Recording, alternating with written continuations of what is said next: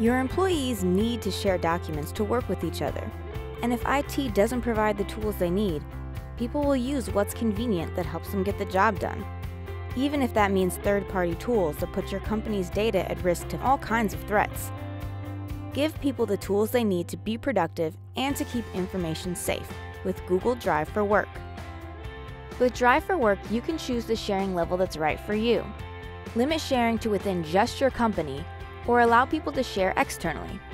And create individual settings for each org unit so information in the research department stays confidential, while sales can share externally to clients. If you work consistently with other Google Apps organizations, perhaps a subsidiary or sister company, you can set them up as a trusted domain, so folks can share with that organization but not elsewhere. And to quickly share information, you can turn on Preview, so employees can share links outside the company and recipients can view the document without needing to sign in with a Google account. With all these options, it may seem complicated to stay on top of where information is being shared.